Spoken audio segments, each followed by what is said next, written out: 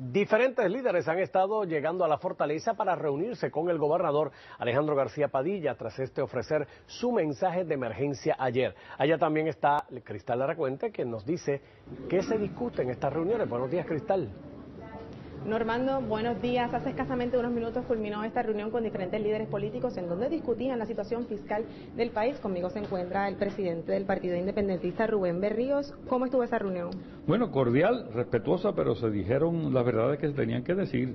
Yo insistí primero en que las recomendaciones de la señora Kruger eran las recomendaciones del Fondo Monetario Internacional, este paquetazo neoliberal que lo que hace es poner la carga sobre la clase media y la clase trabajadora puertorriqueña y que obviamente en términos generales son inaceptables. Y segundo, que la señora Kruger no menciona casi nada el problema de relaciones entre Estados Unidos y Puerto Rico, aunque sin embargo reconoce que hay unos problemas de fondo estructurales. O sea que tenemos que bregar con el problema del estatus y vamos a bregar con los problemas reales del país.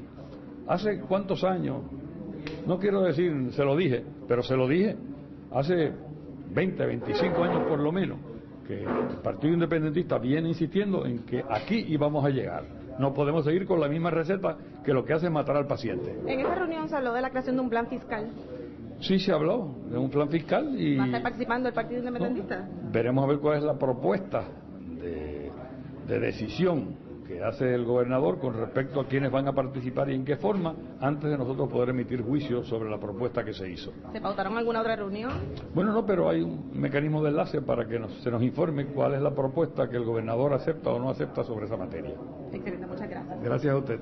Bueno, aquí continuarán las reuniones durante el día. Se espera que en los próximos minutos eh, comience, debo decir, otra reunión, pero con expresidentes del Partido Popular. Durante la tarde van a estar líderes eh, sindicales y líderes religiosos también reunidos con el gobernador. A las 5 de la tarde estaré ampliando toda esta información desde Fortaleza, Cristal Laracuente, Noticentro.